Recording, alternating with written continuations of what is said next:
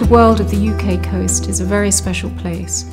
It's teeming with life. It goes from some of the minutest forms like the plankton up to the marine mammals that people might be familiar with like dolphins and also seals.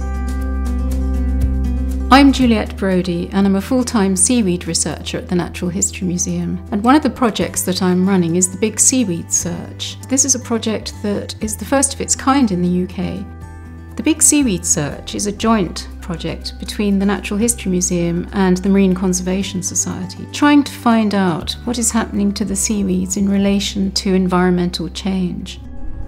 Hi, I'm Jazz and I took part in the seaweed search last year with my Girl Guiding Unit. It was an amazing experience. I started to love being near the ocean. I got to spend lots of my time with my friends in the outdoors.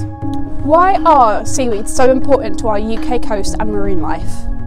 They're really the foundation of much of these shallow coastal habitats. So architecturally they form the habitat around Britain, there's as much kelp forest as there is forest on the land. So if you lost all that habitat, you'd lose everything that lived with it, all those thousands of species that live in it. Where would they go? What would they feed on? I think if we lost all those seaweeds, we lose all the oxygen that they're making. We lose the protection that they provide us, acting as a barrier to wave action. The world would really disappear underwater in our shallow seas if we lost our seaweeds.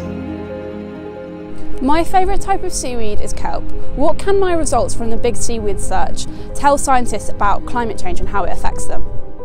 Your observations are incredibly important. Kelp forests are disappearing in many parts of the world or they're changing their distribution. The consequences of that for coastal erosion may be very serious. Monitoring our shores is really important. It's something that we're not able to do because there aren't enough of us. But if you can go out and if you can monitor, say on an annual basis, that will enable us to conserve and to manage our coasts for the future.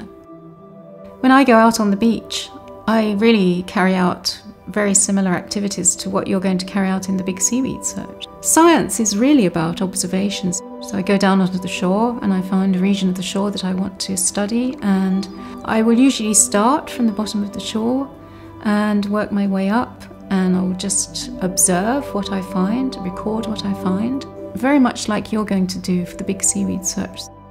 We've chosen 14 species for the Big Seaweed Survey, and in the guide they're grouped into three categories which reflect our scientific questions. Marine life can tell us all sorts of things about the changing environment. So there are certain species which are changing their distribution that we might like to think of as indicator species. So the groups that we're looking at are indicative of the three major environmental changes increasing sea surface temperatures, ocean acidification, and the increase in the arrival of non native species to our shores. So, how can you help scientists like Juliette carry out the Big Seaweed Search? Well, it's quite easy. You download a Big Seaweed Search recording form from the web and go explore a strip of the beach. In the form, all you need to write down is who you are, where you are, what type of beach you explored, the types of seaweed you saw, and how much of each you saw. Remember to take lots of photos, and it's as easy as that.